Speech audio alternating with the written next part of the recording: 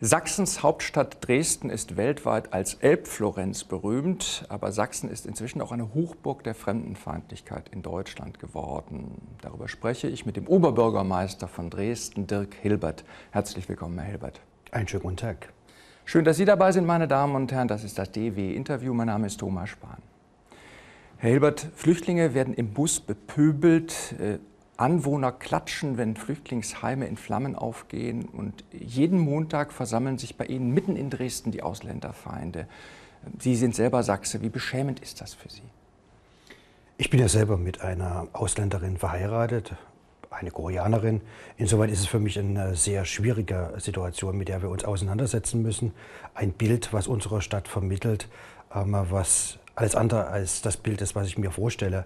Gerade weil sich Dresden in den vergangenen 25 Jahren nach der Wende sehr gut entwickelt hat. Ein Anziehungsort für Wissenschaftler, Kulturschaffende und auch gerade verschiedenste Mitarbeiter international in den internationalen Unternehmen gewesen ist, ähm, ist das für uns ähm, sehr schmerzlich.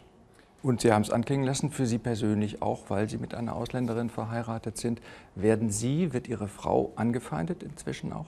Ähm, bisher glücklicherweise hat es da keine Vorfälle gegeben. Sie hat mir mal einen Vorfall gesagt, aber das ist dann eher Ironie ähm, des Schicksals, wo ähm, ein ähm, anderer ausländischer Mitbürger sie da mal ein bisschen angemacht hat, aber sonst ist glücklicherweise nichts vorgekommen. Mhm. Aber die Ausländerfeinde sind mittlerweile selbst an ihrem Wohnort in Klotzsche aktiv. Es gibt Bürgerinitiativen gegen Fremde dort. Ähm, müssen Sie nicht zunehmend Angst haben, wenn Ihre Frau allein dort unterwegs ist beispielsweise? Es macht einen schon äh, nachdenklich und ähm, auch ein ähm, Stück nervös. Und das ist ja der äh, Begleitumstand, den wir in der Stadtgesellschaft insgesamt sehen. Also Menschen, die aus aller Welt äh, in unserer Stadt gekommen sind, die sich absolut wohlfühlen. Es ist eine wunderschöne Stadt, äh, finden gerne dort arbeiten und leben, ähm, haben plötzlich Ängste, ähm, wenn sie auf die Straße gehen. Ähm, und das kann nicht unser äh, Ziel sein, dass das weiterhin äh, so bleibt, dass Ängste, ähm, wenn man in einer Stadt lebt, da sind. Sie sind im äh, letzten Sommer mit einer großen Mehrheit zum Oberbürgermeister gewählt worden. Würden Sie sagen, die Mehrheit der Dresdner ist liberal und weltoffen? Glaube ich schon, ja. Es gibt auch das andere Dresden, das verbunden ist mit dem Namen Pegida. Das sind die patriotischen Europäer gegen die Islamisierung des Abendlandes, so nennen sie sich, äh, und äh, tragen jeden Montag Demonstrationen aus, in denen gegen Ausländer agitiert wird. Sind Sie die heimliche Mehrheit der Dresdner? Nein, nein. Man sieht auch die Begrenztheiten, ähm, die Pegida erreichen kann. Ähm, zur Oberbürgermeisterwahl hatten Sie eine eigene Kandidatin aufgestellt. Ähm, die ist bei 9,6 Prozent äh, gelandet. Und das ist, glaube ich, auch so ungefähr das Maximale, was an Zuspruch in unserer Stadtgesellschaft für Pegida tatsächlich da ist. Wir sehen aber, dass Dresden eine Bühne darstellt, die nicht nur von Dresdnern, sondern von vielen auch Zugereisten aus dem ganzen Bundesgebiet genutzt wird. Und wir sehen auch gerade montags, dass nicht wenige auch aus dem Nachbarland Tschechien kommen zu den Pegida-Demonstrationen. Und das macht mir schon Angst. Diese montäglichen Demonstrationen mit ihren Auswüchsen auch, da gelegentlich ist da Frau Merkel an einen Galgen geknüpft, als Puppe zu sehen. Die gehen um die Welt, diese Bilder. Ähm, was sind die Anhänger von Pegida für Menschen? Sind das Rechtsradikale alles?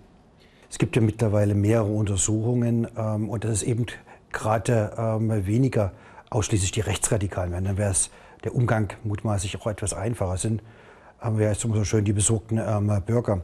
Ähm, eine breite ähm, Spektrum der Stadtgesellschaft. Und in den Untersuchungen, die ähm, bisher gemacht worden sind, auch eher, dass sie dem Durchschnitt oder etwas sogar über dem Durchschnitt des Einkommens ähm, entsprechen.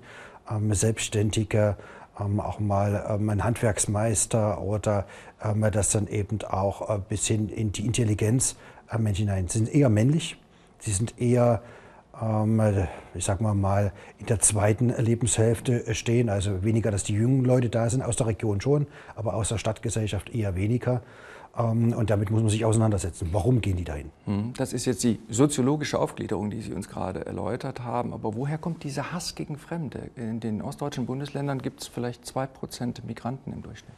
Ich würde es noch gar nicht mal als Hass äh, als erstes bezeichnen, sondern zunächst auch erstmal als Ängste, die äh, eine Rolle spielen in der äh, Stadtgesellschaft. Ähm, die kommt ähm, daher, ähm, dass man keine Erfahrung hat. Sie haben es angesprochen, 2% im Osten insgesamt, vielleicht bei uns in der Stadt waren es, bevor der größere Flüchtlingsstrom gekommen ist, bei ca. 4% liegen. Und wenn innerhalb von kurzer Zeit eine nahezu Verdopplung ähm, des, der Menschen mit Migrationshintergrund äh, passiert, dann auch aus Ländern, wo bisher kaum Erfahrungen da sind, das erzeugt es erstmal Ängste. Und äh, damit müssen wir uns auseinandersetzen. Montag für Montag wird demonstriert von den Pegida-Anhängern und der Organisation selber. Es gibt aber auch Gegendemonstrationen von Dresdner Bürgerinitiativen. Und Sie sind gelegentlich auch dazwischen zu finden, zwischen diesen beiden Lagern. Was wollen Sie erreichen? Ich möchte die Stadtgesellschaft wieder zusammenführen. Ähm, das ist mein erklärtes Ziel. So wie wir in den äh, vergangenen Monaten äh, in unserer Stadt gelebt haben, kann nicht unser Ziel sein, das in die nächsten Jahre weiter so zu betreiben. Wir haben in unserer Stadt den öffentlichen Signale, das Ausbruch, das sichtbare Signal, die Bühne ähm, von äh, Gegendemonstrationen, was in anderen Stadtgesellschaften unterschwellig ganz genauso vorhanden ist. Mhm. Und ich glaube, ähm, dass wir uns ähm, äh, dem Dialog stellen. Also gemeinsam mit der Kirche lade ich jetzt äh, zu verschiedensten Dialogforen ein, mit einzelnen Themenstellungen, die wir uns auseinandersetzen. Bei den bisherigen Veranstaltungen hatten wir jeweils zwischen 500 und 1000 Teilnehmer. Sie sagen, Sie wollen den Dialog führen, auch mit Pegida-Anhängern. Äh, wenn man einige dieser Dialogversuche gesehen hat, da werden Sie auch niedergebrüllt. Kommen Sie überhaupt durch mit Ihren Argumenten? Also niedergebrüllt bin ich noch nie geworden. Ähm, es gab sehr wohl, ähm, dass es den einen oder anderen dann auch Zwischenruf gibt und man sagt, hm, heute vielleicht bestänkliche Stimmung ähm, da. Aber gerade auch wenn ich an die letzte Veranstaltung Anfang Februar denke, es war dann in der, in der Dialogveranstaltung, also in dem, dass die Bürger ihre Meinung vortragen können, sehr ähm, zivilisiert gewesen, sogar stärker als in der vorhergehenden äh, Veranstaltung. Man ähm, hört sich stärker zu. Und das ist schon erstmal ein wesentlicher äh, Punkt hin, dass man auch äh, miteinander ins Gespräch wiederkommt.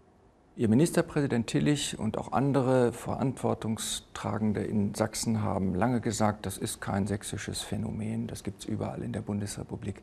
Äh, mittlerweile gibt es den Vorwurf, Sie hätten durch die Verharmlosung der Entwicklung in Sachsen dazu beigetragen, dass es eskaliert. Ist da was dran?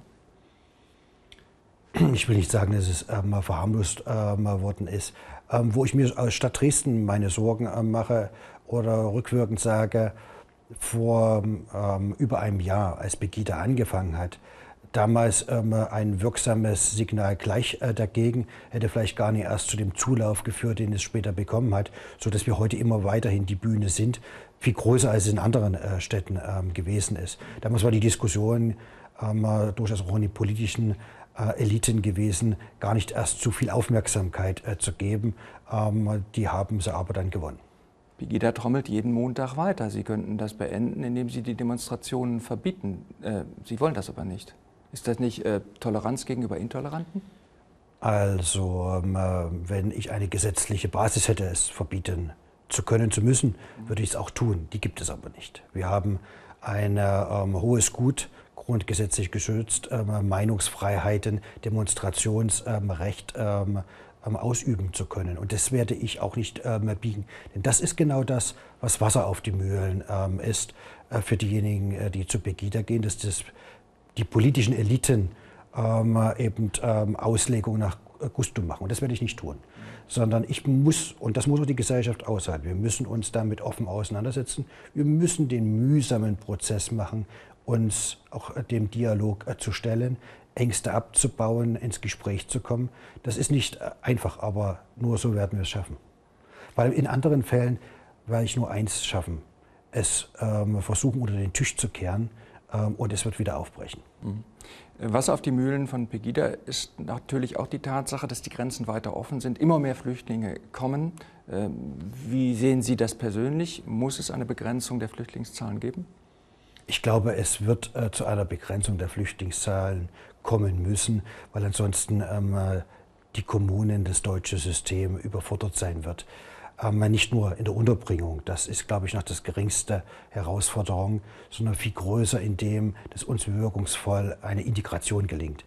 Und wenn uns dann ähm, unsere eigene Gesellschaft ähm, nicht mehr folgt, ähm, unsere Menschen nicht mehr folgen, ähm, dann sind auch ähm, ich sag mal, kein ähm, wirksamer gute Flüchtlingsarbeit äh, zu machen. Deswegen glaube ich, es wird ein natürliches Regulativ äh, geben müssen.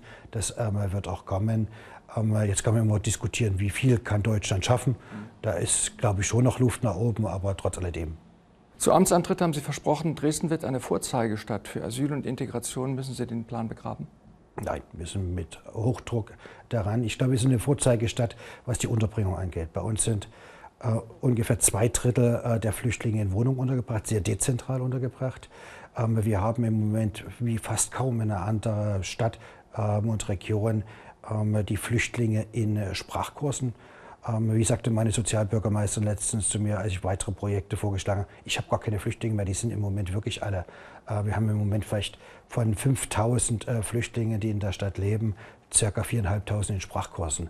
Also insoweit ähm, sind wir schon vorbildlich ähm, unterwegs, sind ähm, seit Monaten daran, mit der Wirtschaft zu diskutieren, das Thema Integration in Arbeit äh, voranzubringen. Also das, ähm, glaube ich, sind wir so schlecht nicht. Herr Hilbert, wir beenden unser Gespräch äh, immer mit den sogenannten drei unvollendeten Aussagen und der Bitte, dass Sie die ergänzen. Wegen der Fremdenfeindlichkeit sind bereits Bürgermeister in Deutschland zurückgetreten. Ich bleibe aber weil?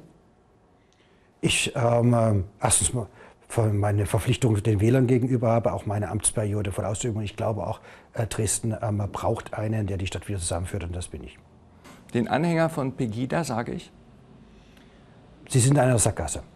Ähm, äh, es hat sich gezeigt in über einem Jahr, ähm, dass auf der Straße die Lösungen äh, sich nicht finden lassen. Für die Zukunft meines Sohnes Lukas wünsche ich mir ein Dresden, das ähm, weltoffen tolerant ist und ähm, die ähm, sag mal, Menschen mit Migrationshintergrund äh, gerne willkommen heißt. Dirk Hilbert, vielen Dank für das Gespräch. Bitte schön.